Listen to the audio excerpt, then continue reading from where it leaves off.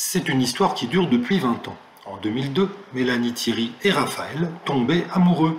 Ensemble, le couple a eu deux fils, Roman, né en 2008, et Alyosha, qui a vu le jour en 2013.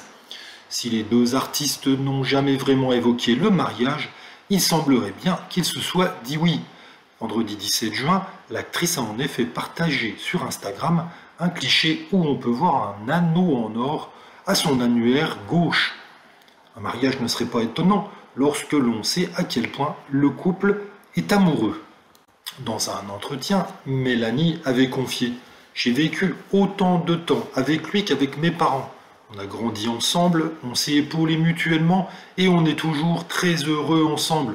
On rit et notre vie quotidienne est sans lourdeur. Ce à quoi je voulais à tout prix échapper quand j'étais enfant. Mais voilà, j'ai été rattrapé par cette vie de couple, mais aussi en exerçant mon métier.